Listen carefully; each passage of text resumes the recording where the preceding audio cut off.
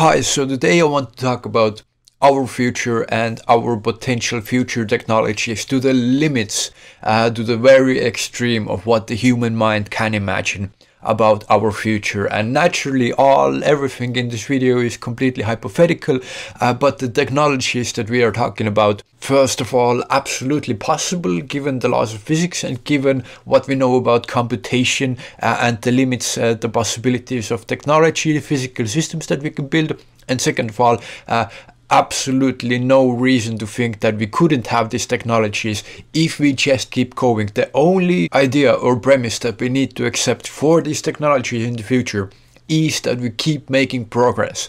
Doesn't matter how slow, how little the progress is, unless we all die and our civilization is wiped out, we will reach a point of having these technologies.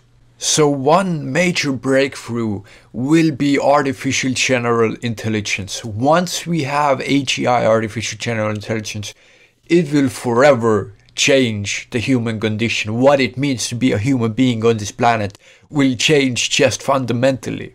And I was talking about the given that as long as our technology keeps advancing at least somewhat, then we get to these technologies.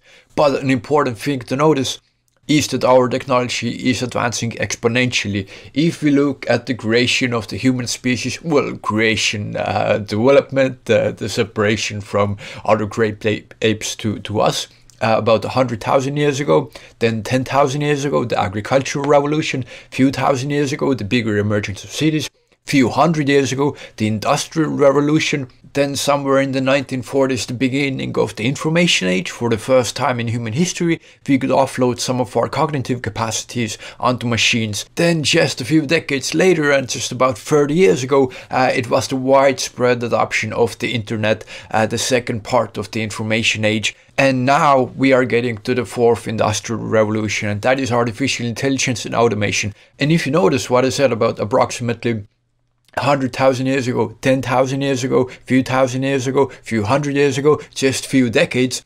That is exponential growth. Every next advance happens exponentially quicker than the one that came before because every new technology we develop helps us develop new technology even faster. So just to sort of try and give this idea, that uh, we definitely are heading in that direction that unless something goes terribly wrong we will reach these technologies. So what technologies we are talking about? Artificial general intelligence of course.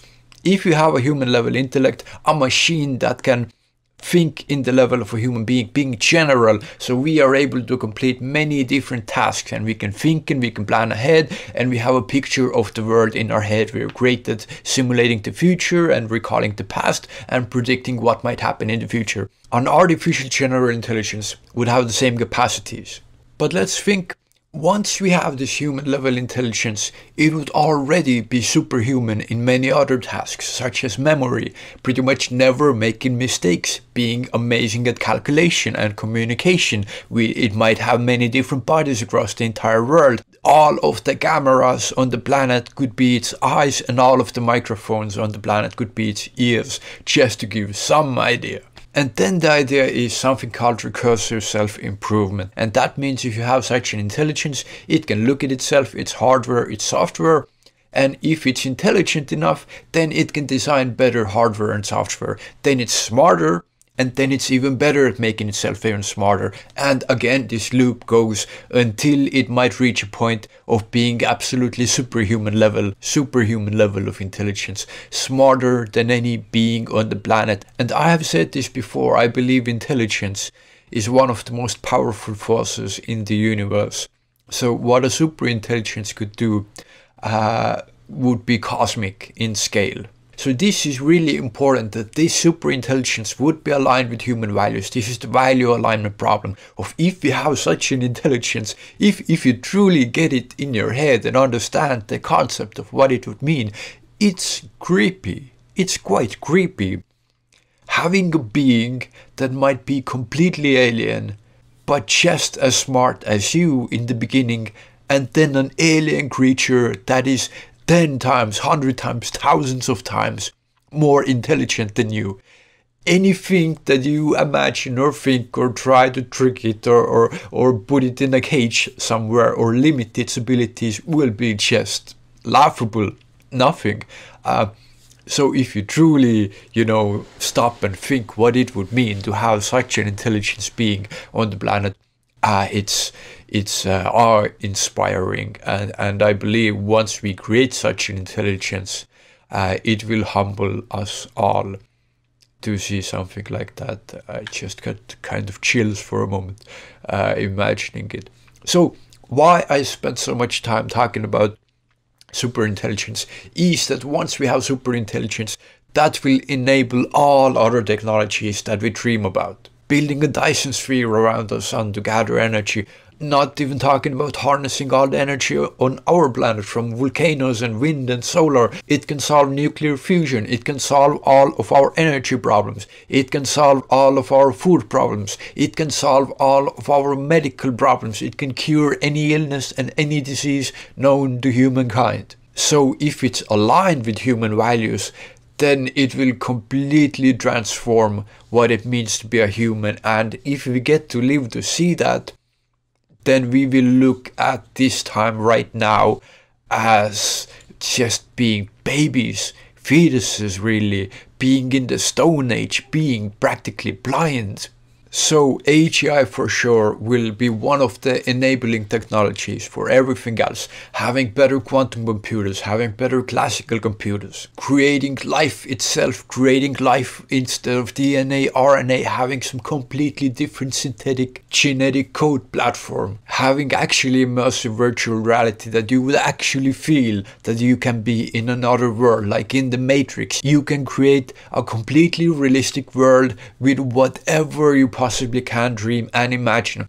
Then, of course, this artificial intelligence would enable to build nanomachinery, nanobots that can go into your bloodstream and fix every part of your body cell by cell, making you stronger, faster, and also go into your brain. First of all, of course, heal all your neurons and first of all, healing all of your body. But the second part would be transforming your body to any extent that you wish. Maybe you just want to be healed or maybe you want to have superhuman abilities uh, being healed with this nanomachinery. Of course, there's different ways to do it. You can just develop uh, some extremely advanced bionics so you can have some machinery, some hand, for example, that is just like 10 times faster and stronger and, and feels, has better touch than any human hand can have. To the point where you have these body parts that are just better in every way than a human body part that you think yeah, I should probably get that. The way you bought the new TV or the or the way you want a new cell phone. Undoubtedly, there will be people who are not wanting to go along with this, who prefer their original biological biological bodies, and absolutely, like this will be a time post scarcity no longer will there be such thing as money when you have nanofactories, microscopic machines that can create anything you want. You can have this box, this 3D printer type thing. You can put dirt and rocks in it and out comes food for you or anything else that you can possibly want. Money will no longer exist and greed will no longer exist. Such absurd concepts. We will look back, no doubt, with pity at people today having to work and having to do jobs that they are not passionate about. I think about this often, obviously. Uh, immense waste of human potential. Just such a waste of human life. By, by wasting people's talents and abilities, what they could do. Of course, after AGI, no human will ever be useful again because this artificial intelligence can do anything better than any human being can do. Unless, of course, we merge with artificial intelligence. This is the beginning of what we see with Neuralink.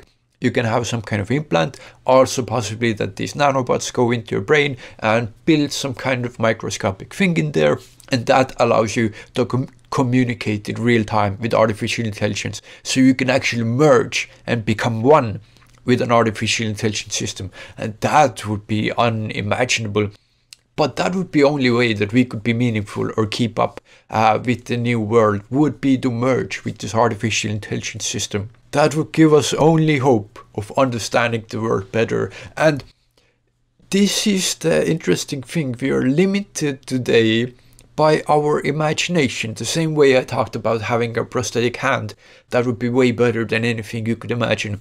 Well, the best that people can imagine today is just some hunk of metal that, you know, looks kind of corny or, or funny and people not really into that. Like, we're just so limited by our imagination that we can't imagine. But there will become a point where these things will be obvious to us. Putting nanobots into our bodies emerging with artificial intelligence will be obvious. You can just see the vast extension of, of what human experience can be like.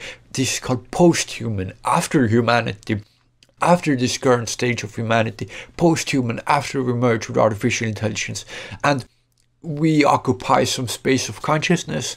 Post-human being, if we merge with artificial intelligence, would be much, much more expanded uh, consciousness. Uh, of course, space travel, we can go into space and do pretty much everything we want there. But this is an interesting point. Once we reach such a level of technology, these virtual worlds that we create, these simulations, might be so good and so realistic. You can get anything you want out of them. You can explore space in them as well without speed of light uh, being any kind of obstacle. Today, you go to the nearest star even at the fastest possible speed that we know with the laws of physics allowing would be 4 light years. So it takes you 4 years at the fastest possible speed to get to the closest star. And I, I think I, I make the assumption that we would think that would be a waste of time. Of course, this would be a time where resources would be basically unlimited. We could go definitely expand into, into the solar system and if we have so much to go around, we might be like, hmm, like let's send stuff out into space. But probably there will be artificial intelligence systems or mind uploaded humans. Now, I have an issue with mind uploading that many people don't notice. This is the issue of copying versus moving. So many people have this funny idea that this sci-fi notion from Star Trek of mind uploading kind of and it would be that you are in the future and you are sitting in a chair and there's a computer next to you and you have a mind upload. Every single atom in your head is scanned and put into the computer. And these people think that this process, after it's done, that magically consciousness, your first person experience, somehow jumps into the computer. Uh, they don't understand that it's a copy being made. It's not your soul sucked into the computer, your consciousness jumping into the computer. It's like it's like literally a copy. So, you know, you're copied into the computer, you're killed off, and the copy in the computer, of course, will say, oh my god, this process worked, I'm alive, blah, blah, blah. But of course, it will just be a copy. You are dead. You do not continue living because you're just a copy. So there are many ideas of maybe slowly replacing your brain neurons uh, with artificial neurons. Maybe that's a thing, but maybe by that process you gradually lose consciousness. Uh, like we never know with these things. I'm sure once we're super intelligent, we can figure that out. That will not be a problem. So I would posit that we might seem that like most of our activity and most of what we do will remain on planet Earth or well hovering in our solar system since there is so much experience to be had. After all, what do we live for? We live for experiences. We live for feeling things.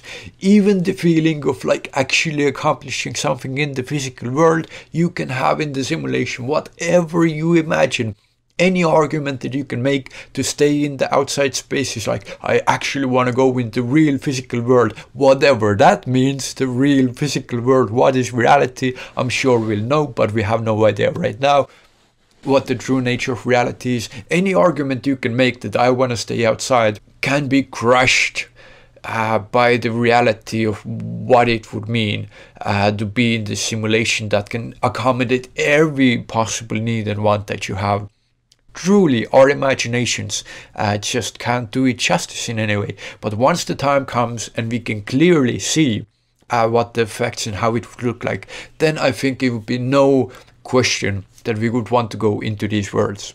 Okay, so these are just some of my thoughts about future technology, mostly about artificial intelligence, and some ideas about, yeah, what kind of technologies we will have. And mostly, I do think it's very likely that these technologies will be enabled by artificial general intelligence, artificial super intelligence. Of course, we can reach them the regular route of just improving exponentially as we keep going right now, but I think before we reach any kind of limit of technology, we will first create artificial intelligence and that will create all the other technologies after that for us. So uh, I hope this was interesting in some way. If you have any thoughts, please share them in the comments. And of course, thank you so much for watching and take care.